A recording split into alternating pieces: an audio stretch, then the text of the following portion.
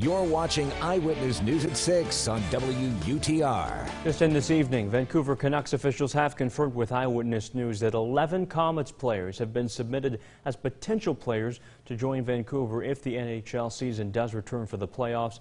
Goalie Michael DiPietro, along with skaters GM Brisebois, Jalen Chatfield, Olli Juolevi, Brogan Rafferty, Ashton Sautner, Justin Bailey, Reid Boucher, Tyler Graovac, Cole Lind, and Sven Baertschi are on that list. The league has not yet announced roster size allowances.